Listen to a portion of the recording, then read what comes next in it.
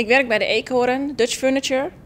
Een uh, familiebedrijf wat uh, stoere eigentijdse meubelen maakt. Wij vinden maatschappelijk verantwoord ondernemen belangrijk, omdat we iedereen een gelijke kans willen geven en bij ons in het leuke bedrijf te komen werken. Het is, ik vind het erg leuk en ik vind eigenlijk dat iedereen die kans moet krijgen en daar willen we graag aan meewerken. Wij zijn daar zeker tevreden mee. Ja, het, heeft wel wat begeleiding, uh, vraagt het van ons.